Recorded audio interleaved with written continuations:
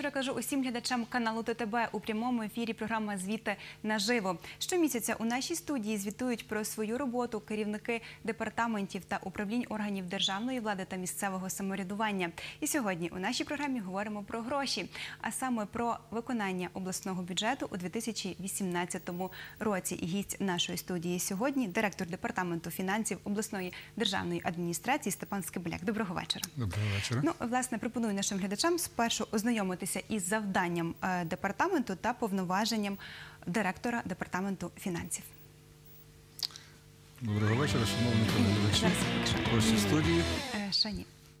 Основними завданнями департаменту фінансів є забезпечення реалізації державної бюджетної політики на території Тернопільської області, складання розрахунків до проекту обласного бюджету та прогнозу на наступні за плановим два бюджетні періоди і подання на розгляд обласної державної адміністрації. Підготовка пропозицій щодо фінансування забезпечення заходів соціально-економічного розвитку на території Тернопільської області, розробка пропозицій з удосконалення методів фінансового і бюджетного планування та здійснення витрат, здійснення загальної організації та управління виконання місцевих бюджетів на території Тернопільської області, координація діяльності учасників бюджетного процесу з питань виконання бюджету. Директор департаменту фінансів здійснює керівництво діяльністю департаменту, несе персональну відповідальність за виконання покладених на департамент завдань, визначає ступінь відповідальності заступників директора департаменту, керівників його структурних підрозділів. Затверджує положення про структурні підрозділи та функціональні обов'язки працівників департаменту, розпоряджається коштами у межах затвердженого кошторису на отримання департаменту, Затверджує розпис доходів і видатків обласного бюджету на рік і тимчасовий розпис на відповідний період. Забезпечує відповідність розпису обласного бюджету встановленим бюджетним призначенням. Погоджує призначення на посаду та звільнення з посади керівників структурних підрозділів з питань фінансів районних державних адміністрацій. Видає у межах своєї компетенції накази, організовує і контролює їх виконання. Проводить особистий прийом громадян з питань, що належать до повноважень департаменту.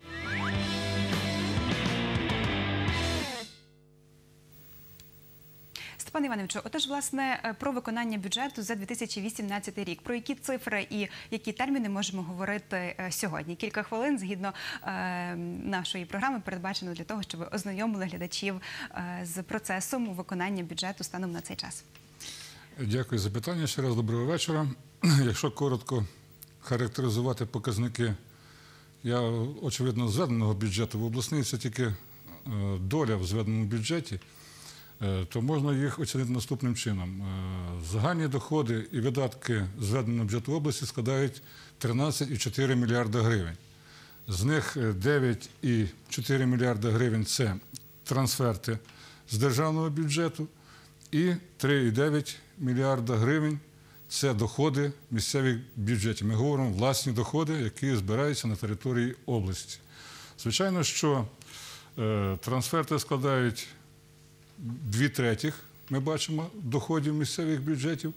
Але е, якщо говорити про трансферти, які спрямовуються на утримання галузей бюджетної сфери, то вони складають 4,6 мільярда гривень і плюс наших власних доходів 3,9 мільярда гривень. В цілому 8,5 мільярдів гривень направляється на видатки, тобто будемо говорити на утримання бюджетної сфери. Це базова дотація, додаткова дотація, освітня субвенція, медична субвенція і, як я вже сказав, е, наші власні доходи.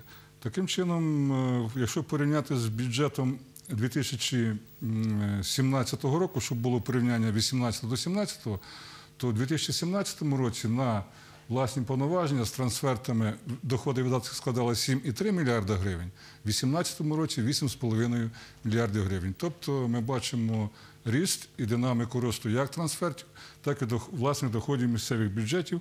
Е, До слова, власні доходи місцевих бюджетів в минулому році склали 3,2 мільярда гривень, в цьому році прогнозуємо 3,9. Тобто 700 мільйонів плюсу е, до показників 2017 року, якщо коротко говорити про основні показники місцевих бюджетів. Дякую. Ну, е, ми також е, маємо е, коментар науковця з приводу того, як формується взагалі обласний бюджет. Давайте почуємо. Це Зоряна Лободіна, економіст, доцент кафедри фінансів Сергія Юрія Тернопільського національного економічного університету.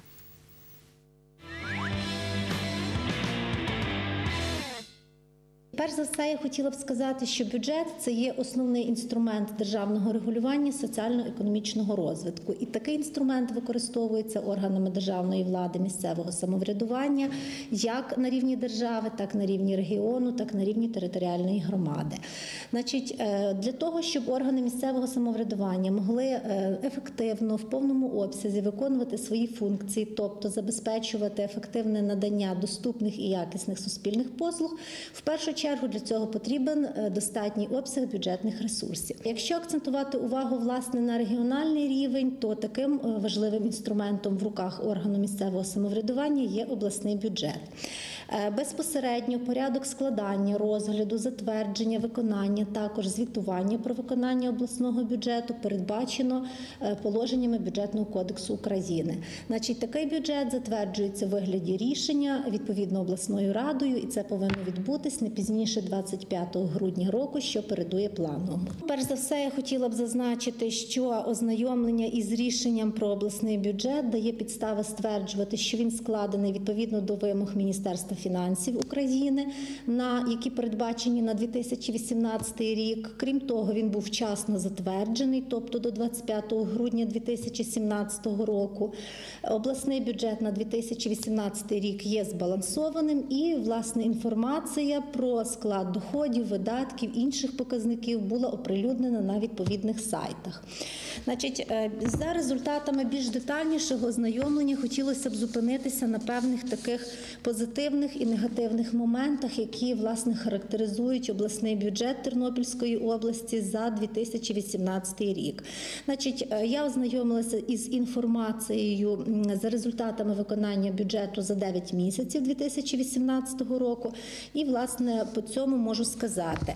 В першу чергу такими позитивними моментами при виконанні дохідної частини бюджету є те, що відбулось перевиконання багатьох е, планових показників, зокрема податкових надходжень. Значить, це є з податку на доходи фізичних осіб, податку на майно, єдиного податку, плати за надання адміністративних послуг, а також надходжень від орендної плати за користування цілісним майновим комплексом та інших видів доходів.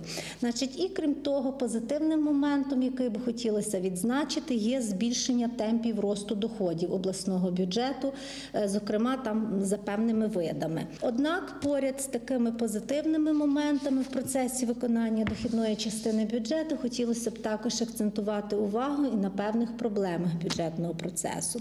В першу чергу, значить, відбулося все-таки недовиконання планових надходжень доходів окремих місцевих бюджетів. Тут доречно зауважити, що мова йде не тільки про обласний бюджет, а також про зведений бюджет області. Власне, така інформація є оприлюднена.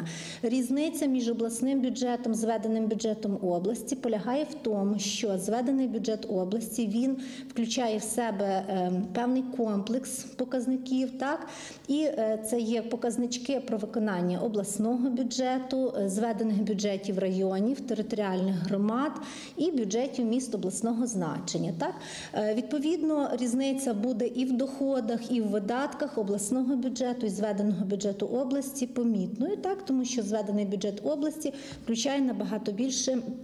Як джерел формування е, бюджетних ресурсів, так і напрямів їх використання. Значить, і е, хотілося б ще звернути увагу на таку проблему виконання дохідної частини бюджету, як збільшення заборгованості суб'єктів господарювання зі сплати окремих податків і зборів, тобто зростає в нас податковий борг, власне, який і є резервом збільшення майбутніх доходів бюджету. Власне, ми почули, що науковець також проаналізувала і дохідну частину обласного бюджету. І хочу, щоб е, ми подивилися так на таблиці, які ми підготували щодо надходжень до загального е, фонду обласного бюджету, і де є перевиконання, на які акцентувала науковець, що напевно позитивно. Так зараз почуємо вашу е, думку. І ну розуміємо, що також левова частка формування дохідної частини це, звісно ж, субвенції з державного бюджету, як зазначили ви. Тобто бачимо, що є перевиконання доходи від власної та підприємницької е, діяльності. і Також є перевиконання деяких податкових надходжень. Це більше ніж е, хочемо подивитися наступний слайд. Більше ніж 377%. Тобто, е, з чим це пов'язано? Що ну позитивні показники щодо перевиконання. Ну, Якщо дивитися на динаміку надходження доходів і структуру доходів, то тут слід зауважити, що в зведеному бюджеті області основний платіж це є податок на доходи фізичних осіб. Він складає близько 63% загального обсягу доходів. Е, В грошовому виразі це більше як 2,2 е, мільярда гривень. Наступний платіж, е, який складає 14% від загального обсягу доходів, це півмільярда гривень, це єдиний податок. Третій за розміром платіж це є податок на майно, куди входить плата за землю. Е, Це більше 10%, е, 370 мільйонів гривень. І четвертий за обсягом платіж майже 9% це акцизний податок, якого ми плануємо отримати більше 300 мільйонів е, гривень. Тут ми Е, почули е, ну, акцизний податок і податок з доходів фізичних осіб. І не можу не запитати, як вплинула децентралізація на формування обласного бюджету, тому що ці податки, наскільки я розумію, йдуть до бюджетів громад, але вони є частиною зведеного обласного бюджету. Правильно я розумію? Правильно ви розумієте. Якщо говорити про е, децентралізацію е, місцевих бюджетів, то динаміка доходів відслідковується дуже чітко і динаміка дуже позитивна.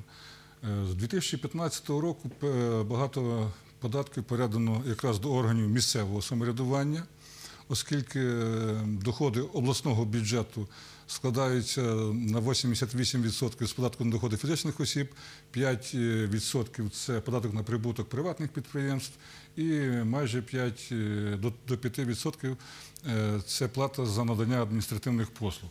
А що стосується місцевих бюджетів, тобто органів місцевого самоврядування, то тут 100% зараховується єдиний податок, е, плата за землю, плата за майно. І це основні бюджетоутворюючі значить, платежі. І 5% акцизного податку це податок спального з алкогольних і тютюнових виробів. Е, Динаміка. 2015 рік місцеві бюджети отримали 1,5 мільярда гривень доходів. 2018 рік, я вже називав цифру, ми плануємо отримати 3,9 мільярда гривень проти 2015 року півтора. Це ріст доходів місцевих бюджетів в два з половиною рази. Е, ну, я розумію, що децентралізація пов'язана із утворенням громад. Їх на сьогодні в області є 40. І в цьому році вже створено двоє, ще 5 буде створено. Це буде 47 громад. Значить, по громадах е, так само ріст з 356 мільйонів гривень до 900 мільйонів гривень у 2018 році. році. Тобто динаміка по всіх місцевих бюджетах відслідковується ріст в два е, з половиною рази. Можна порівняти з 2016 роком, де ми отримали 2,2 мільярда гривень. На фоні всієї України, як ми виглядаємо, оця динаміка. Е, На фоні всієї України динаміка в нас е, хороша, якраз саме динаміка. Бо якщо говорити про обсяги доходів, звичайно, що ми не зрівняємося з великими областями, де обласні бюджети складають 1,5-2 мільярди гривень, у нас тільки півмільярда власних доходів. Ну і звичайно, що зведені бюджети набагато більше. Якщо говорити по е, темпах росту загального фонду місцевих бюджетів у 2018 році до 2017 року, то Тернопільська область займає хорошу п'яту позицію е, в е, державі. По темпах росту податку на доходи фізичних осіб нас друга позиція. Тобто, ви бачите, загальний обсяг п'ята позиція, а основний бюджетоутворюючий дохід податок на доходи фізичних осіб я називав 62% в структурі. Е, Друга позиція по Україні, і ми хочу сказати, вже ці позиції зберігаємо протягом двох останніх років.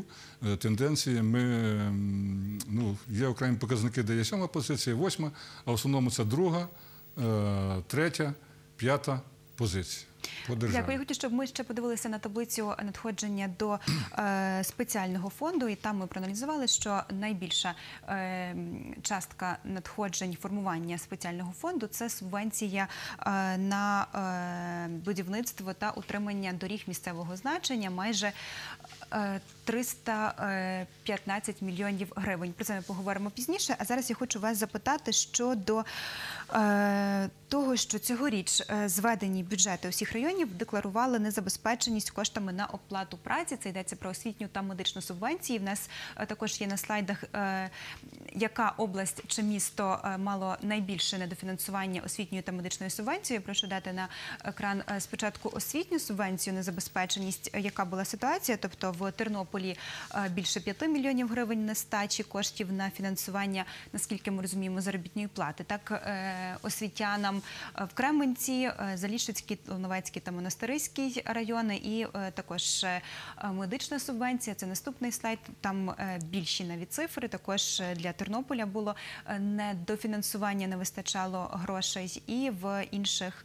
Районах та містах Е, чому так склалося, і чи бачили ви на початку е, бюджетного року, що проблема буде?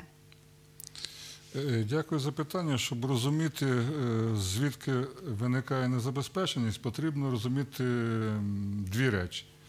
Що формула розрахунку як освітньої, так і медичної субвенції затверджується е, постановою Кабінету міністрів України і вона затверджується на всю Україну.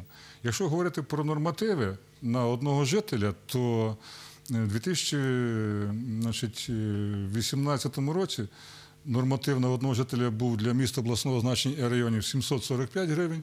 На 2019 рік він буде складати 817 гривень, тобто ріст на 72 гривні для обласного бюджету з 515 до 565, тобто ріст на 50 гривень на душу населення. В відсотковому значенні це майже 10%. Якщо говорити про освіту, то у 2018 році до розрахунку бралося наповнюваність класів і середня заробітна плата е, педпрацівника 8,5 тисяч гривень. І таким чином це основні показники, які впливали е, на розрахунок освітньої субвенції. На 2019 рік значить, е, та сама ж формула, але вже е, заробітна плата середня педпрацівника 9 тисяч 300 гривень бралася до розрахунку. Е, Чому склалося так по містах обласного значення, по, особливо по містах обласного значення по освіті? Е, В 2017 році в містах обласного значення формула вдосконалюється кожного року. Був надлишок освітньої субвенції, і вона перейшла як залишки е, на рахунках на 2018 рік. Тобто ця субвенція залишається на рахунках місцевих бюджетів. Тобто в 2018 наступному році вирішили, що треба скоротити, бо були надлишки. У 2018 році формула помінялася і було не враховано у формулі один, е, одну складову, яка суттєво вплинула на розрахунок, це поділ е, класів на групи.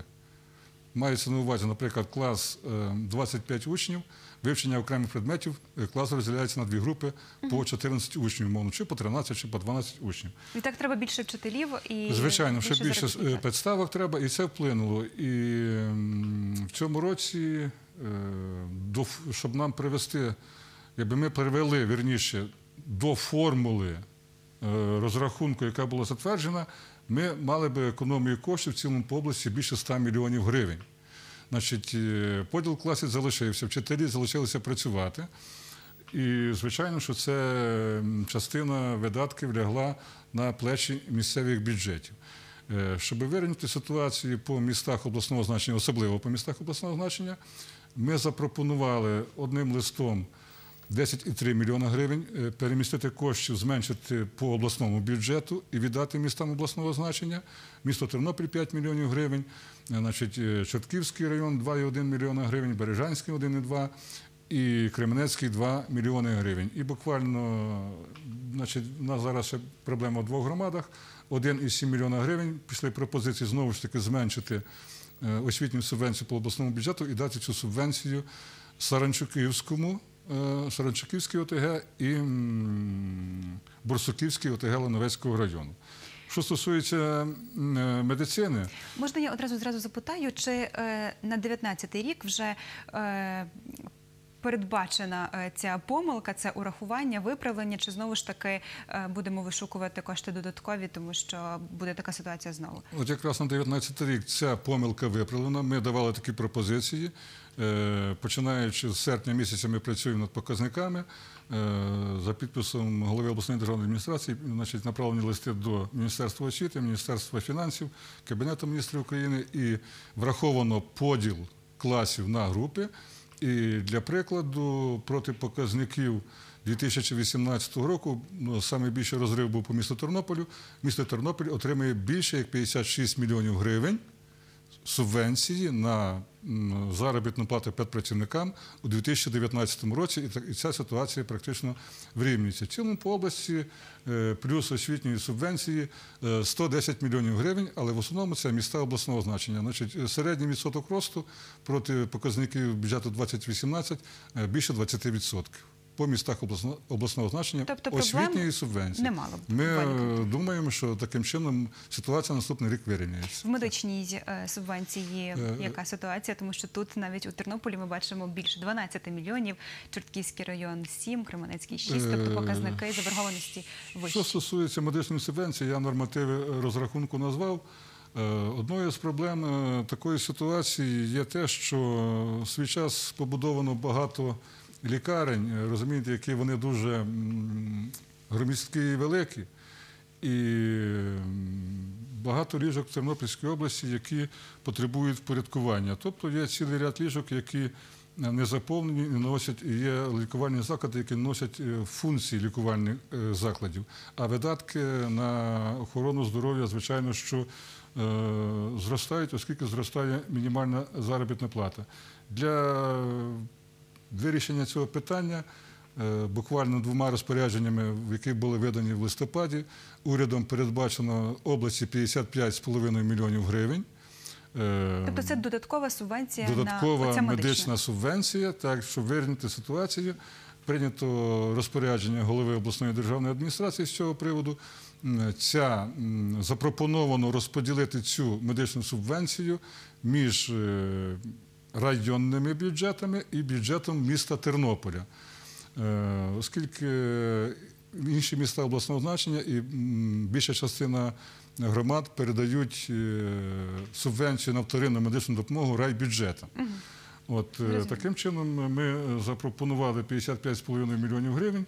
Е, До розподілу 3,2 мільйона гривень ми залишаємо на обласному бюджеті. Я так думаю, що буде чергове питання стосовно екстреної, от, де ми забезпечуємо екстрену допомогу. Ми спрямовуємо майже 2 мільйони гривень, при тому, що ми вже протягом року 19,5 мільйонів коштів спрямували за рахунок доходів обласного До речі, ми до цього питання хотіли пізніше повернутися, але вже оскільки говоримо про медицину, е, зі слів директора екстреної медичної допомоги, е, ми почули, що е, в середині року було недофінансування. Так сталося, тому що відбувається реформа, чи також через те, що забагато, скажімо, завелика мережа не вистачило медичної субвенції, і чи з обласного бюджету дофінансовували, і як буде наступного року? Чи також вже цю проблему передбачили? Е, Значить, я вже сказав, з обласного бюджету ми дофінансували майже 20 мільйонів гривень на заробітну плату, і зараз ще 2 мільйони гривень. Ситуація вирівнюється. Вся справа в тому, що коли розраховується обсяг медичної субвенції, з загального обсягу з міст обласного значення, з районів з громад вилучається певний коефіцієнт. Ну, будемо говорити, з міст обласного значення коефіцієнт застосовується 0,18, з районів і з громад 0,13. І екстрена допомога обслуговує жителів цієї області. Ми цю проблему бачимо і пропонуємо неодноразово, щоб вилучення з загального обсягу медичної субвенції з міста обласного значення збільшити до 0,23 коефіцієнт, е, з районів і громад до 0,18. Таким чином, ми б, звичайно, екстрену допомогу вирівняли, і вона б фінансувалася виключно за рахунок медичної субвенції. Е, в- тому випадку, який зараз є, ми мусимо дофін- дофінансовувати кошти з обласного бюджету. Тобто така ситуація по всій Україні. Якщо Ситуація така по всій Україні десь більш-менш вона однакова. Ну, е, розподіл коштів на екстрену ніхто не забороняє, будемо говорити так, до- додавати кошти за рахунок місцевих бюджетів до чи до освітньої, чи до медичної субвенції. Зрозуміло. І ми, звичайно, цю ситуацію стараємося вирівнювати і контролювати. Нагадую, що ми працюємо у прямому ефірі. Наш ефір можна не лише дивитися, а й слухати на хвилях обласного радіо. Е, мені підказували, що в нас був телефонний дзвінок, але зірвався. Спробуйте набрати нас ще раз. Е, номер нашої студії ви бачите на своїх екранах. А я хочу е, зазначити, що до нашої студії щойно приєднався е, експерт, науковець Михайло е, Лучко, доктор економічних наук, професор, завідувач кафедри обліку е, та контролю у сфері публічного е, управління Тернопільського національного економічного університету. Е, Доброго вечора, е, пане Михайле. Якщо у вас будуть запитання, ми повернемося за е, хвилинку. Е, Якщо є можливість, підготуйтеся. А зараз ми почуємо запитання від вашої колеги, також е, науковця. Пані е, Зоряни Лободіної питання до нашого е, спікера.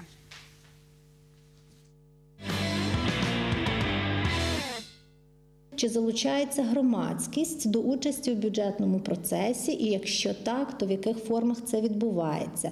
Зараз в нас триває бюджетний процес 2019 року. Хотілося б знати, чи планується організація бюджетних слухань. Так, щодо е, обговорення проекту обласного бюджету на 2019 рік. Крім того, декілька років е, така практика була. Громадські слухання проводилися. От буквально сьогодні з'явилася інформація в засобах масової інформації, що на рівні е, міста Тернополя затверджено розпорядження загалом про бюджетні слухання, і очевидно, що таки все таки вони будуть проведені.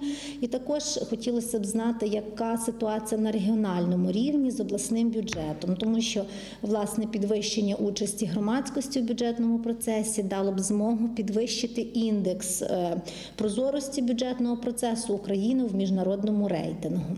От ну і третє питання, яке, на яке би хотілося почути відповідь, це таке, що е, в Україні з 2017 року більшість місцевих бюджетів застосовують програмно-цільовий метод у бюджетному процесі. Е, Зокрема, мова йде про бюджети, які мають безпосередньо прямі міжбюджетні відносини з державним бюджетом. Практичне використання цього методу супроводжувалось певними труднощами, проблемами, над яким оперативно працював і департамент фінансів, інші місцеві фінансові над вирішенням цих проблем. Так от хотілося б звернути увагу, яких позитивних результатів вдалося досягнути. Е, От чи проводилася розпорядниками бюджетних коштів, департаментом фінансів, оцінка ефективності цих бюджетних програм. От і власне чи враховувалися результати цієї оцінки в процесі складання проекту бюджету на наступні бюджетні періоди і в процесі вибору е, бюджетних програм для фінансування. Тож маємо два запитання від науковця. Перше щодо участі е, громадськості. Е, Хочемо вашу відповідь почути. Значить, е, бюджетний процес відкритий і прозорий. Ми працюємо над бюджетом, вже вже казав, з серпня місяця. Перші контрольні показники ми отримали е, 16 чи 17 вересня, після того, як Кабмін подав проект закону про державний бюджет до Верховної Ради для першого читання. Ці показники доведені до всіх е, бюджетів, які мають прямі міжбюджетні відносини з державним бюджетом, тобто це міста обласного значення, районні бюджети і бюджети об'єднаних територіальних громад. Е, Ми по процедурі довели контрольні цифри головних розпорядником коштів обласного бюджету. Для складання бюджетних запитів видані певні інструкції, проведені семінари, навчання. Навчання проводилися за участю е, представників Міністерства фінансів України. Е, Так, але я думаю, що пані е, Зоряна запитувала про те, е, як може долучитися громадськість, науковці, бюджетні слухання. От зараз перед прийняттям обласного бюджету у 2019 році чи обговорення, запрошення економістів, журналістів, публічні можливо дискусії, якщо це йдеться по певні програми і таке інше. Тобто, чи цей аспект врахований, чи є залучення і можливо зацікавленість, на вашу думку, громадськості в прозорості і висвітленні бюджетного процесу? Е, Зацікавленість громадськості є велика, і кожного року він проходить прозоро відкрито. Я завершу свою думку і зразу скажу, як буде проходити процес е, формування обласного бюджету. Значить, е, ви знаєте, що вночі проголосовано державний бюджет у другому читанні, і в цілому ми два дні тому отримали оновлені міжбюджетні трансферти, доопрацювали контрольні цифри, довели до головних розпорядників коштів, зібрали бюджетні запити і на даний час ми формуємо, приступили до формування обласного бюджету. Я думаю, що найближчим часом він буде сформований, буде прийнято відповідне розпорядження голови обласної державної адміністрації про схвалення проекту змін до обласного проекту обласного бюджету на 2019 рік. Він буде поданий до обласної ради.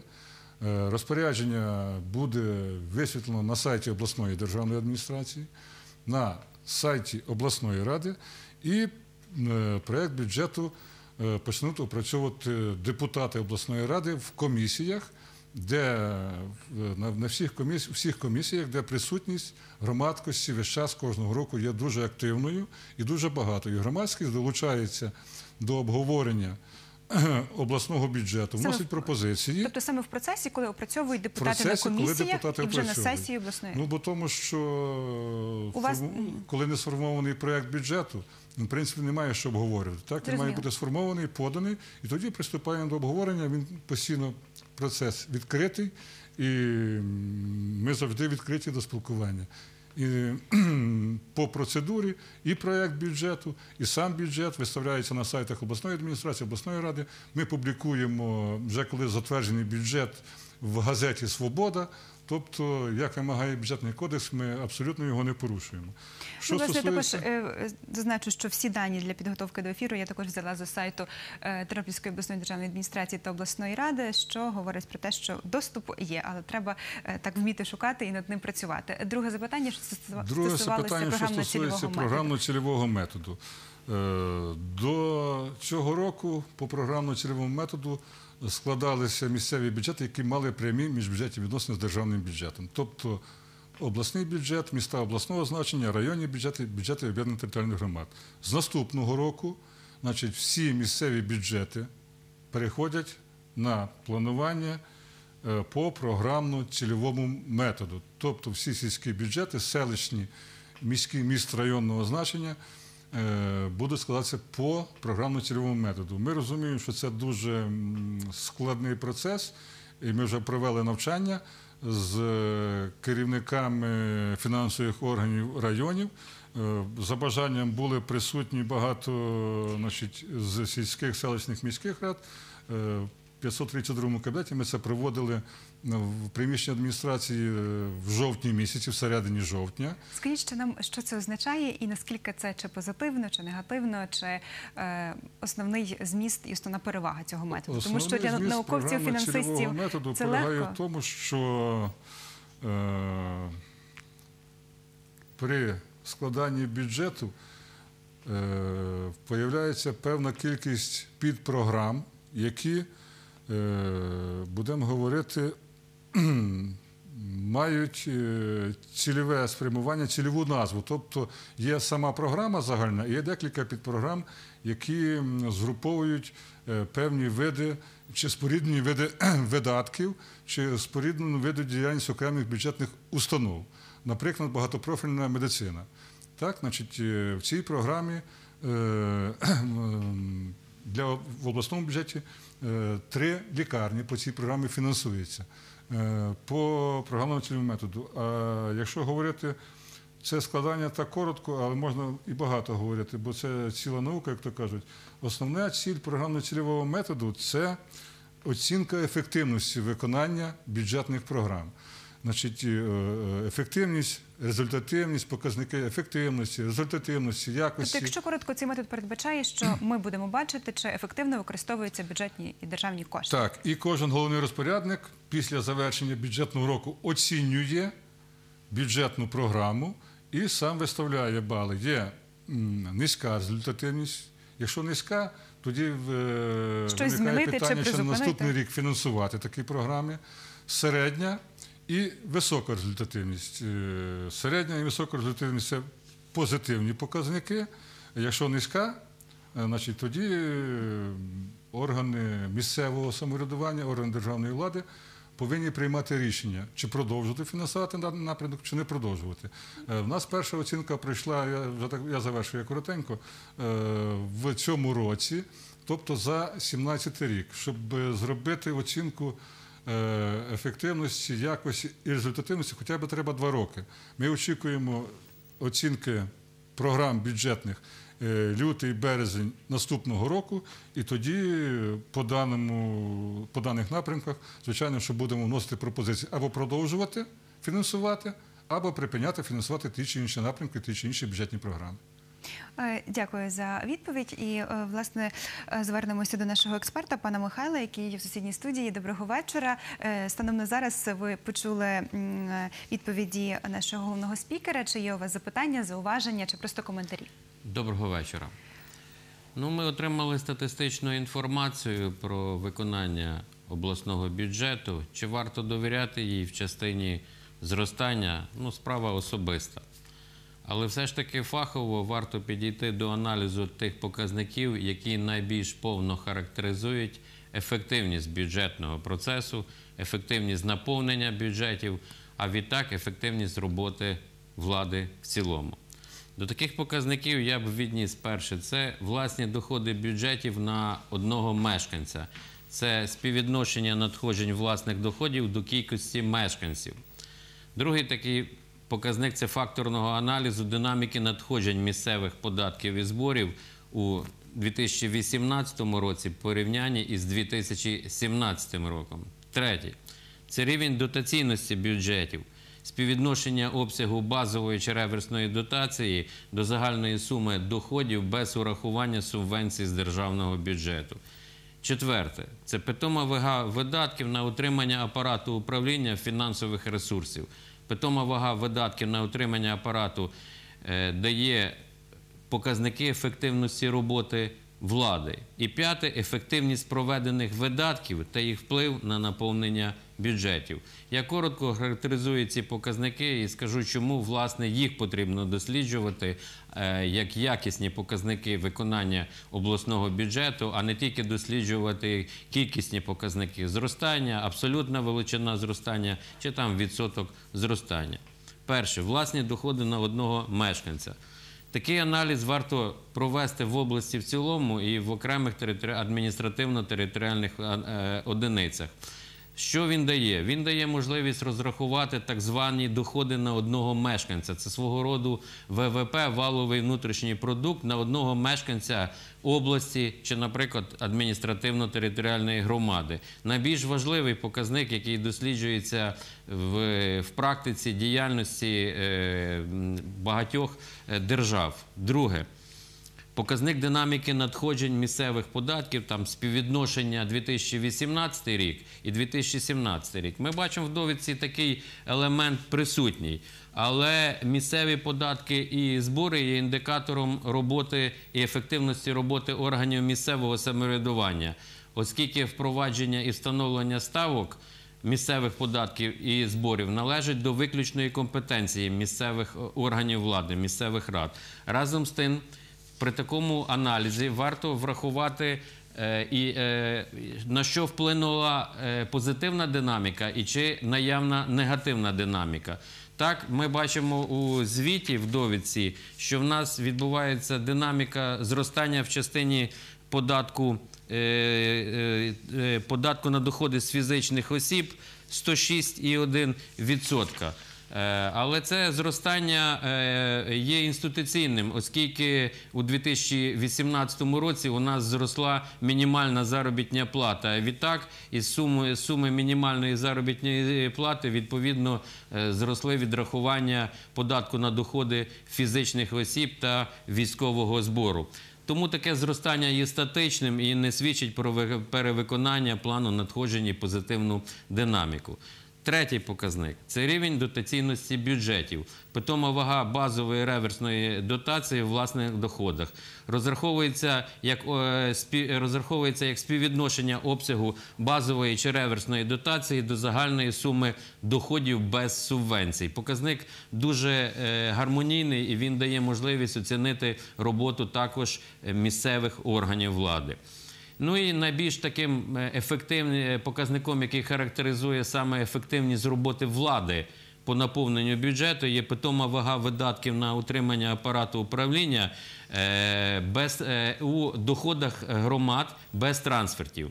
Так, при більшій фінансовій спроможності бюджету частка видатків на утримання апарату управління буде меншою, оскільки такі витрати є сталими і мають е, незмінну величину. Тобто, у нас при динаміці зростання, е, зростання цих е, динаміка зростання цих видатків говорить навпаки про негативну роботу органів влади в частині своєї персональної роботи по наповненню бюджету. І П'ятий показник він власне е, пов'язаний е, більше із видатками, але він гармонує в тій частині, як видатки використовуються в частині е, їх отримання. Ефективність проведення видатків.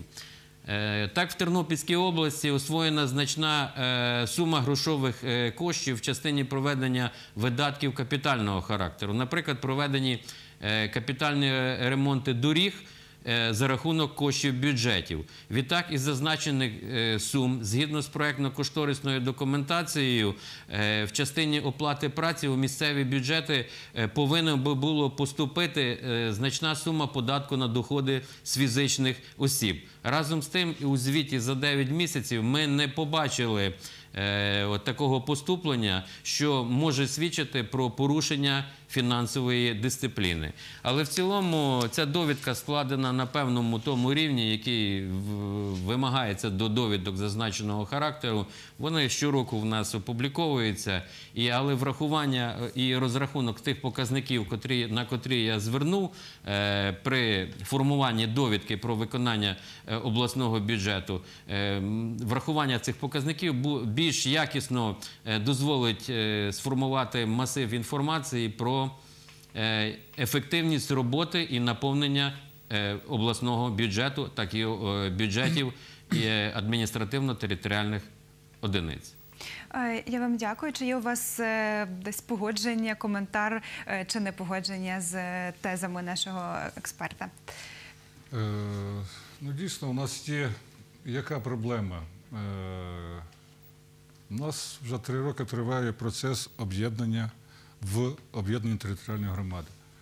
Я, напевно, як відчував таке запитання, що воно, можливо, буде в студії чи коментар. Е, зараз, е, щоб утримати, будемо говорити, апарат сільської ради, тобто орган виконавчої влади, треба мінімально 400-500 тисяч гривень на рік, щоб виплатити заробітну плату і на нарахування на заробітну плату.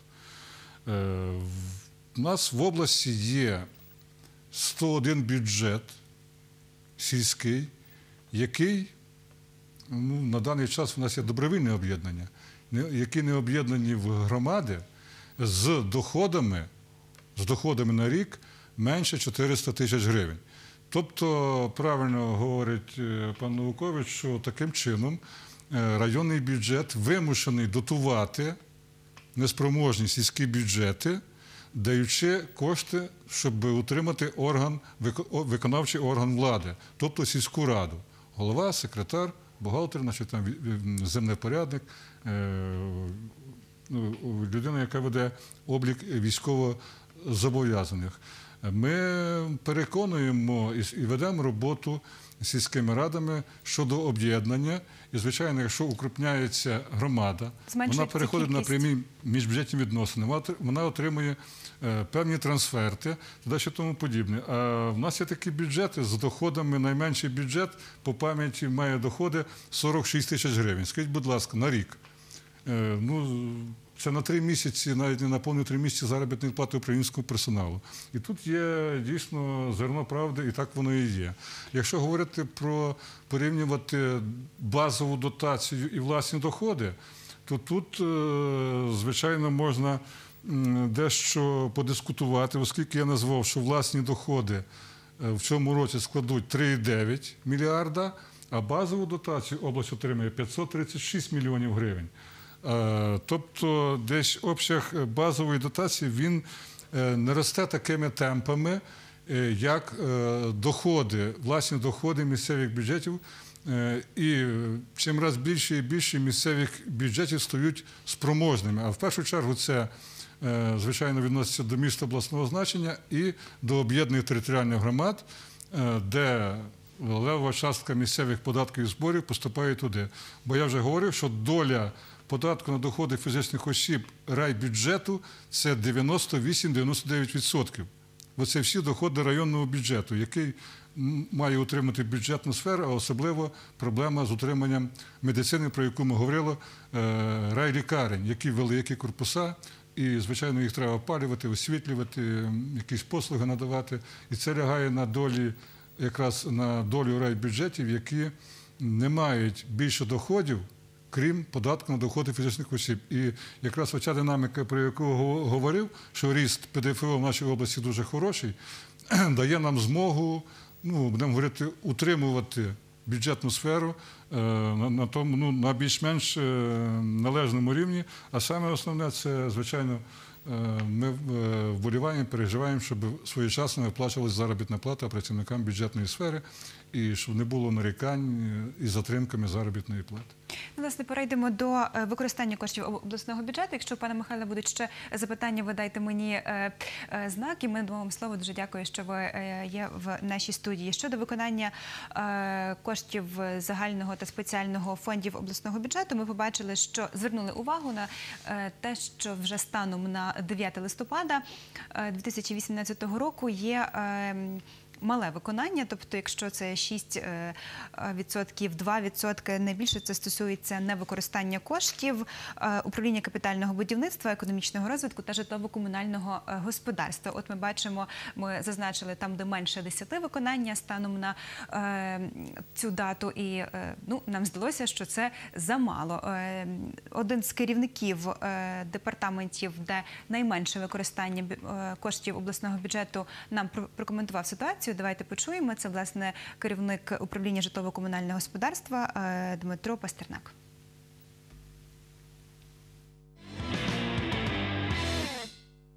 В управлінні у нас фінансування відбувається по двох фондах: фонд загальний і спеціальний фонд. По загальному фонду ми маємо гроші для програми енергоефективності області, яка профінансована на цей рік 1 мільйон. З цього 1 мільйона ми планували компенсацію зробити для населення з метою компенсувати їхні витрати на енергоефективні заходи. На даний час Е, з цього мільйона використано лише 6% із запланової суми. Чому така стала ситуація? Минулого року, коли ми планували і заложували гроші в бюджет, ми передбачали, що фінансування по теплих кредитах по державній програмі буде приблизно таке, як було в 2017 році. А в 2017 році воно е, становило приблизно 1 мільярда гривень. В цьому році ситуація помінялася. В цьому році профінансувала держава по державній програмі теплі кредити лише 400 мільйонів. Із них лише 200 мільйонів для фізичних осіб. Тобто відчуваємо, що в 5 разів зменшилося для фізичних осіб фінансування. Але Оцей наш, е, наш е, підрахунок не означає, що ці гроші не будуть використані на енергоефективні заходи. Тобто ми зараз внесли зміни до е, використання тих грошей, і до кінця року ці гроші будуть використані на енергоефективні заходи. Які це заходи можуть бути? Це в тому числі по енергоаудитах, в тому числі про систему енергоменеджменту, в тому числі ми з цих грошей будемо е, запроваджувати роздільне збирання твердих побутових відходів. Що стосується спеціального фонду, спеціального фонду, то ці гроші е, це гроші, так звані різниця в тарифах. І станом на сьогоднішній день у нас якраз платіжки пройшли, і ці гроші профінансовані. Тобто, якщо ви подивитесь завтра, післязавтра е, на інформацію публічну, то ви побачите, що спеціального фонду 100% гроші використані. Чому станом на листопад на сьогодні, на вчорашній день ці гроші в графії стояло нуль. Через те, що для того, щоб ті гроші е, по спеціальному фонду можна було профінансувати, це треба було укласти договори, які повинні підписати теплопостачальна організація е, і е, НАК Нафтогаз України. Відбуваються ті взаєморозрахунки. Після цього ми можемо ті договори зареєструвати в казначействі і профінансувати. Тому на сьогоднішній день платіжки по фінансуванню цих договорів в казначействі е, пройшли, ці гроші будуть профінансовані 100%. То ми бачили цю ситуацію, що е, по теплих кредитах в нас запланована е, компенсація для людей не буде використана 100%, тому ми вжили заходів ще з серпня місяця, внесли зміни, розглянули їх на сесії обласної ради, і тому вже зараз вживаємо заходів для того, щоб ті гроші використати згідно вимог чинного законодавства на заходи, які я вже озвучив.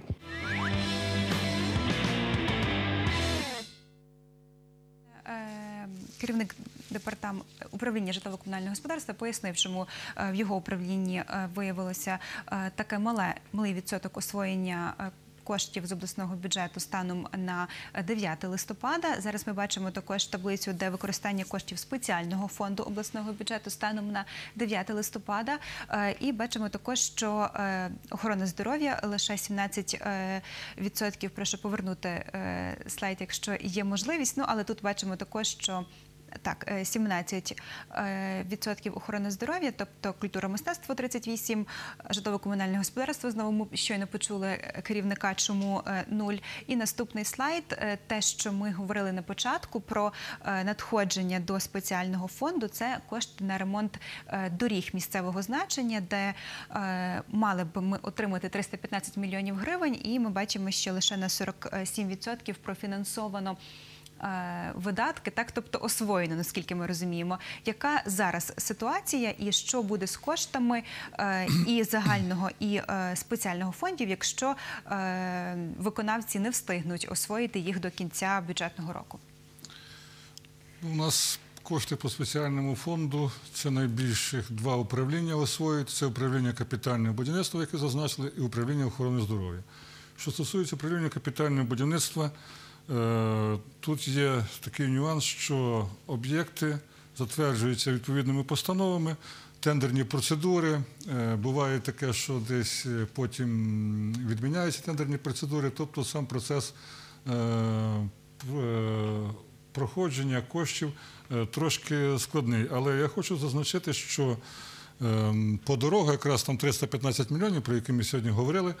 Практично ми профінансували левову частку буквально вже в листопаді місяці.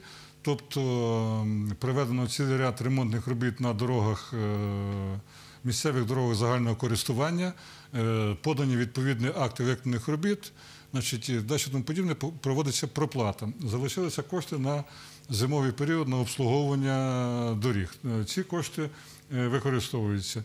Е, Що стосується охорони здоров'я, 223 мільйони із 244, які у вас були тут на слайді, це кошти на розвиток сільської медицини.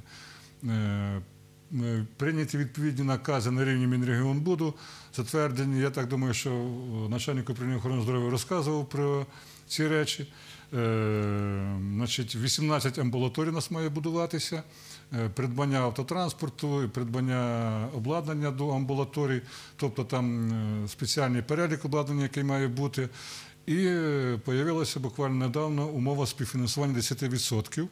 На даний час е, е, 6 листопада, е, щоб не затримувати освоєння коштів, ми запропонували і підтримував депутатський корпус 5 мільйонів з обласного бюджету спрямувати на, е, будівництво для співфінансування будівництва сільських амбулаторій.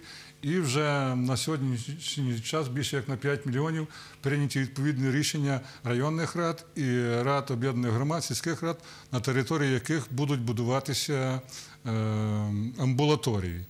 От і я думаю, що в цьому році освоїти. ми розпочнемо освоєння коштів, але Те, що не встигнемо, повертається назад до державного бюджету. Ну, Правильно? я думаю, що кошти якраз оці на сільську медицину не повернуться до державного бюджету. Вони нам е, 178 мільйонів е, минулого року зайшли на рахунок в кінці грудня. І була така умова, що вони мають бути використані в цьому році. Оскільки чіткості не було до кінця, про що я говорив про ці речі, я так думаю, що ці кошти будуть перехідними на наступний рік. І ще плюс до тих коштів додається ще 44 мільйони на наступний рік. Це в проєкті державного бюджету на розвиток сільської медицини. Тобто загальний обсяг е, 223 плюс е, 44 – це майже 270 мільйонів гривень. Що стосується фонду регіонального розвитку, так тоді, якщо кошти будуть не освоєні, вони повернуться до державного бюджету і повернуться кошти на розвиток об'єднаних територіальних громад. Е, Ці, ці, цих два види трансфертів з державного бюджету Якщо кошти не освоєні, повертаються в кінці року. В останній робочий день казначейська служба піднімає їх на рівень державного бюджету. Е, ну, хочу е, повернутися ще до одного з питань, де були. Е, Проблеми, можемо так сказати, цього року це щодо забезпеченості коштами на придбання медикаментів для лікування хворих на цукровий діабет. У нас є відеоматеріал. Давайте подивимося, яка ситуація була е, ну так ще в е, жовтні цього року.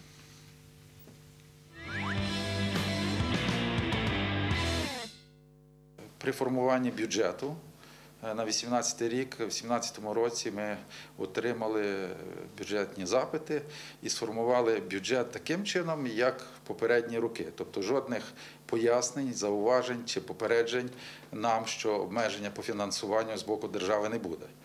Тому бюджет закладався таким чином, що кошти на інсулін будуть забезпечені державою. До речі, держава е, і е, повинна забезпечувати інші там е, статті. Це і онкологія, це і орфантні хвороби. Однак, враховуючи те, що останні роки там, допустимо, орфантні захворювання не фінансувалися, ми передбачили кошти на ці хвороби в бюджеті. А ситуація з інсуліном не викликала на початку року тривоги. Однак після закінчення першого півріччя кошти субвенції закінчилися на інсулін, і до 10-го місяця ми власним ресурсом, власними коштами закривали це питання. Але так як в бюджеті Тернополя не було коштів на е, непередбачені кошти на інсулін, склалася критична ситуація. Останніх три місяці ми маємо проблему на 4 мільйони гривень. 4 мільйони гривень, сума якої нема в бюджеті Тернополя, аби оплатити до кінця року інсулін, пояснювали представники Тернопільської міської ради в жовтні.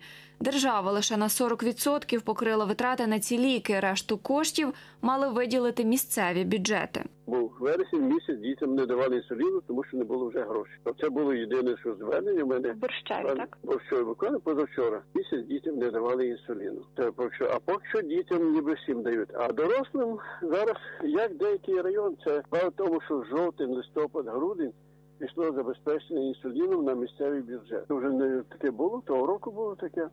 Якщо немає коштів, шукають самі чи з аптеки, через кордон, за границею, як хто де. Ми зверталися і на рівні сесії міської ради, і особисте спілкування з керівництвом е, обласної ради, обласної е, управління охорони здоров'я облдержадміністрації. Е, На жаль, там така сама проблема. Тобто при формуванні бюджету кошти на інсулін не передбачалися, тому що це є функція держави. Тому сьогодні, так само як ми е, зробили перерозподіл свого бюджету, там якісь частину коштів знайшли, мабуть, е, е, така процедура чекає інші бюджети. Наскільки мені відомо, законодавство в цій сфері не змінювалось протягом там, кількох років. Тому е, принцип формування бюджету на 18 рік був такий, як і принцип формування на 17, 16 і так далі. Жодних роз'яснень, попереджень чи інших е, документів не було. Тому ми, так як і минулі роки, розраховували на те, що держава виконає свою функцію. Е, Поки що ми не маємо жодних пояснень і жодних змін до законодавства. Якщо будуть, будемо розглядати їх. Наразі такого немає. Через місяць представниця управління охорони здоров'я Тернопільської облдержадміністрації в програмі Тема дня заявила, що уряд перерозподілив видатки та виділив кошти, яких не вистачало місцевим бюджетам на інсулін. Зараз додаткові кошти вони виділені. І е, стовідсотково кожен пацієнт до кінця місяця це вже буде остаточно. Ви знаєте, буде процедура, буде забезпечений цими препаратами і через аптечну мережу, яка є е, згідно е, кабінету міністрів, е, згідно постанови кабінету міністрів. У нас є аптечну мережу, буде здійснюватися оцей е, виділення препаратів інсуліну. Однак інсулінозалежні тернополяни хвилюються, що така ж ситуація їх чекає і наступного 2019 року. Пане бачимо, що проблема була, вона вирішилася, кошти е, знайшли, е, дофінансували з держбюджету, але чи в 2019 році передбачена більша кількість е, е, грошей, скажімо так, чи проблема буде вирішена, чи знову не повториться так, як було цього року? Якщо говорити про 2018 рік, і взагалі всі роки правильно десь. е, Чому така склалася ситуація? Я так дещо е, підсумую це, що було сказано.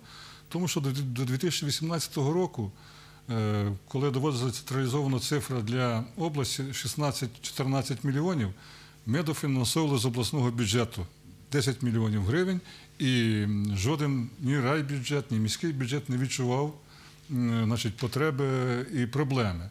Значить, з 2018 року ми віддали цю субвенцію на місця, тобто районним бюджетам, містам обласного значення і громадам, для того, щоб, якщо на місці, десь більше здійснювати контроль. І як результат ми побачили, що за підсумками півроку, я пам'ятаю цифру, на 2,7 мільйона гривень було потрачено менше коштів на придбання інсулінів, як в 2017 році. Тобто десь почали дійсно на місцях е, вести більш такий детальний облік.